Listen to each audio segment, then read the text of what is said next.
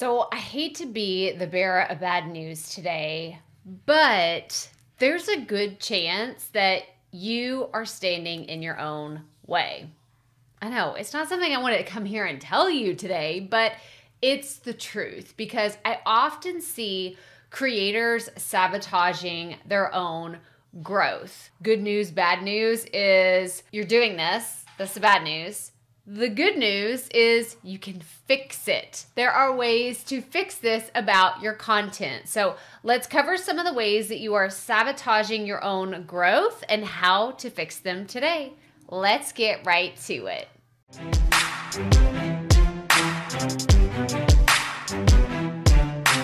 Hey y'all, Krystal here today, and we are covering six ways that you are sabotaging your own content. I know. It's like not the thing that we really want to talk about. It's not the fun, shiny, sexy new thing to try out or a fun tip or hack, but it's the thing that we really need to address if you want to see real growth with your content. So there are actually 11 in total that I cover in this week's episode of the Proffitt Podcast. So there's going to be a link here on the screen in the video description for you to go check that out. So I wanted to cover six of those today, and you can go listen to the rest on the Proffitt Podcast. So let's just dive right in. So, number one, the first way that you're sabotaging your content growth is you're only creating content on one platform.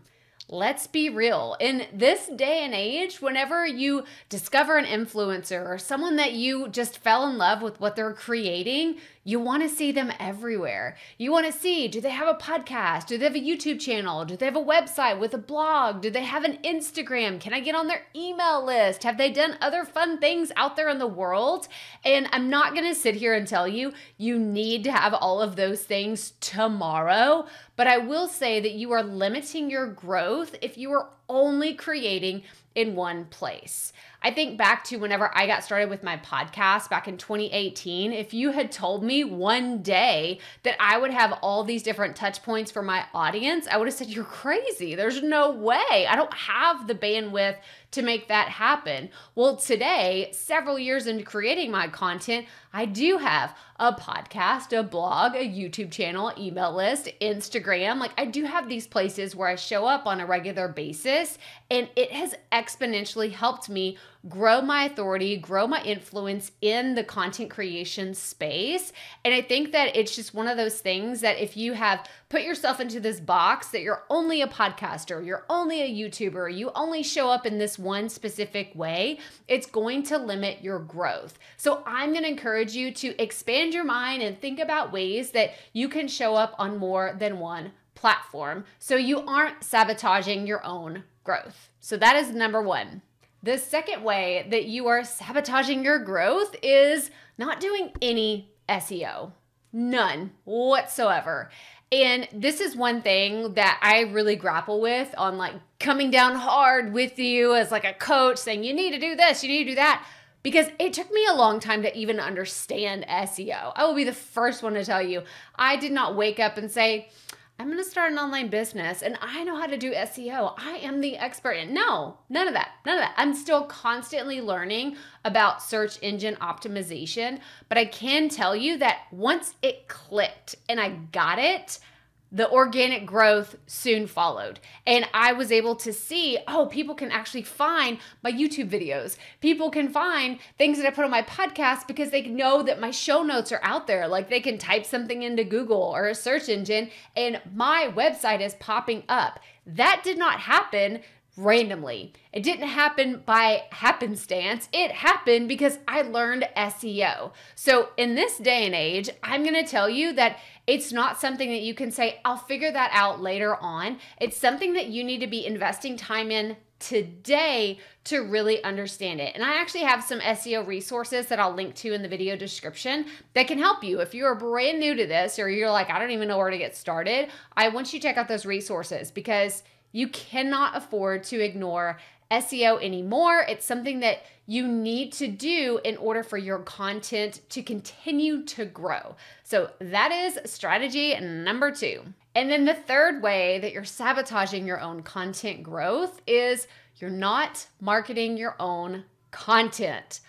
Oh my gosh, I could go on and on about this for hours, probably days, weeks, and months because what happens? Creators will come to me and say, Krystal, I've been putting out regular, consistent content on my podcast, on my YouTube, on my blog, and things just aren't happening. What am I doing wrong? And then when I ask them, well, what is your marketing plan? What are you are you creating sound bites? Are you creating short video clips? Are you putting your content teasers out there? Are you sharing with your audience or your potential audience what you're creating? And they're looking at me like, no. Like I am just barely making it. Like I'm scraping the bottom of the barrel of my energy source to just put the thing out there. And now you're telling me I have to actually market it too? Yeah, you do. If you want people to know that it's there, especially if you're spending hours and hours editing, creating this beautiful masterpiece of content, and you're not telling anybody, you're wasting your time. Oh, I hate to even say that, but it's the harsh reality that you need to face that if you are spending hours creating this thing, then you're not telling anybody about it. You're wasting your time. So I need you to get in the mindset of, I'm going to spend just as much time, if not more, if not more, promoting what you are creating instead of just spending all your time, energy, and effort into creating the thing that you are making for your audience. So you have to learn how to be a better marketer or how to learn marketing, period. I have tons of strategies that I want you to check out. I have some content marketing videos that you'll see here, and I'm gonna link to them in the video description below. But it's really important. You can't afford to ignore marketing anymore. It is the thing that will make all the difference for your content growth. So, that is the third thing that we need to talk about here today. The fourth way that you're sabotaging your own growth, and this is going to be controversial, but I'm going to say it you are spending way too much time editing. You are. And that was like, ooh, she's talking to me now. This just got personal. Yeah, it did because you are spending so much time on your podcast. You're editing out ums or deep breath sounds or long pauses. I've had people tell me I spent 15 minutes recording this podcast episode, then it takes me six to eight hours to edit it. And I'm just like, oh my gosh, are you joking me? Are you serious? Like, is this really what is happening in your content? Or you spend 10 minutes creating a YouTube video and then you're editing it for hours. You're putting 20 hours into this 10 or 15 minute video. And I'm just thinking, oh my gosh, do you know how much more content you could have created? Do you know how much time you could have invested in learning SEO strategies to get that same video out to thousands more people? But we're stuck in this perfectionist cycle of comparing our content to someone else's. So we're like, oh, it's not good enough. It's not good enough. I have to do this in order for it to be this caliber of content. And it's just not the case. I mean, I'm a prime example that I've created more than a thousand podcast episodes. Yes, I said 1,000 podcast episodes between the Proffitt Podcast and the Potty Report. I've published more than a thousand episodes. I've published more than 400 YouTube videos. And I gotta tell you, the thing that's made me better is not my editing skills, it's creating the content. It is doing the thing, not pretending that the thing that I created was incredible. It was just actually doing it. So you are actually sabotaging your own growth by spending so much time on specifically editing when you could be marketing. You could be learning SEO. You could be learning other marketing tactics, but not just putting your head down saying, This isn't good enough. You're beating yourself up. Like, let's stop all of that. Let's get to the point where you're like, I'm okay putting this out into the world and knowing I'm going to be better 12 months from now than I am right now today, even myself. I still believe this. I'm learning constantly and I'm growing and I'm learning tips and strategies. And I just tell myself, I'm going to be better 12 months from now. And I say, this video is good enough. This podcast is good enough. This email newsletter is good enough. And I hit send, I hit publish, I schedule it to be out into the world because I know that me spending more time editing something, y'all, it's never gonna be perfect anyway. So I get it to the point where it's good enough for me. I hit publish and then I move on. But this actually brings me to a great point in the video to ask what are your questions about editing or making this process easier or content marketing? I want to know. So tell me in the comments your questions about content marketing, about editing, whether it's podcasts or YouTube videos. Let me know because I want to know your specific questions. Okay, let's get back to the video. The fifth way that you are sabotaging your own content growth is you're not showing up consistently. Now, I kind of got on a soapbox about editing. I could get on a higher soapbox about not showing up consistently. And what it all boils down to is if your audience doesn't know when you're going to show up, why would they show up for you? I know, it's harsh. I told you today today's video was going to be a little bit like rough around the edges because these are the things that I see on a regular basis. It is the reason why I'm creating this video. It's because people are coming to me saying, Krystal, my podcast isn't growing. I hit a wall on my YouTube channel and I can't get any more subscribers, or this happened, that happened. And I'm like, well, when was the last time you published something? And they're like, well, when I got around to it, I published something last month. Oh, was it on the same time last month? Well, no, it was just whenever I had time for it and I was able to, you know, hit the publish button, then it was out. I'm like, it's not good enough, okay? You need to publish on a consistent basis. Now, consistent can mean many, many things to you. It could mean once a week, it could mean once every other week, it could mean five times a week. Like it's so different for everybody, but you have to establish this consistent schedule because I can tell you, as a fan of a lot of podcasts, of a lot of YouTube channels, and a lot of emails that I get on a regular basis.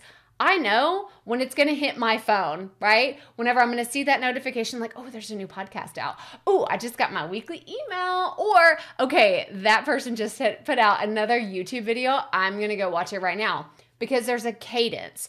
It is a habit that I have built into my personal weekly schedule that I know okay, this is going to come out on Monday, then I'm going to listen to this one podcast on Tuesday, then on Wednesday I have this like I have a schedule and your audience will too whenever you show up consistently. So stop sabotaging your growth and start showing up on a regular basis for your content. And the last and final way, the sixth way that you may be sabotaging your content growth is not having a strategic plan for your content this is something that like I just my heart breaks when people come to me and they just don't have a clue. They don't. There's no process, there's no rhyme or reason, there's no system, there's no workflow in place for them to publish their content.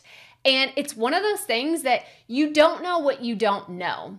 But I have learned from studying so many content creators, from podcasters to YouTubers to people that are doing awesome stuff on social media, they have a plan, they have a strategy. Even if it's a simple strategy or a super complex strategy, they have a strategy.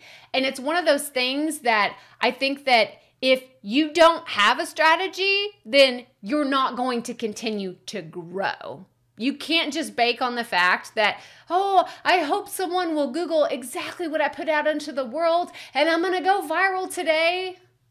That's not a good strategy. And I hope that's not what you're doing with your content. And actually, if you are looking for a strategy, then I encourage you to get on my waitlist for radical repurposing. This is my program that is launching in October 2022. So if you're watching this later, then maybe you already bought the program and you love it, or maybe you're waiting for the next round to open up. But this is something that is strategy focused. Like there are so many strategy lessons in this program. And I think it's really important that you understand that all the repurposing that I have been able to do in my content didn't just happen. It was a strategy. It was a very methodical, thought out strategy And it has everything to do with how I've been able to continue to grow in my podcast, in my YouTube, on my blog, the website traffic that I get, on my email list, on social. All the things have been thought out and intentionally set into place so that I can continue to repurpose my content. So I am working smarter and not harder. And that is what I want for you too. So go to krystalproffitt.com forward slash waitlist to get notified for the next time that Radical Repurposing opens. You'll get updates, you'll get tips, you'll get all kinds of things of what we're doing. We actually have a free training that is coming up if you're watching this in real time on October 18th. It's my first training of easy peasy content. So, this is six ways that I'm gonna show you how to save five plus hours every single week creating your content. Like five hours at a minimum is what you will save whenever you go to this training. So go to krystalproffitt.com forward slash easy to register. That's krystalproffitt.com forward slash easy to register for easy peasy content. But that's all I have for you today. So if you found this video helpful, make sure you hit the thumbs up and subscribe below so you don't miss our future videos all about content strategy, repurposing, and just everything content creation. Check out these other videos right here. And as always, remember, keep it up. We all have to start somewhere.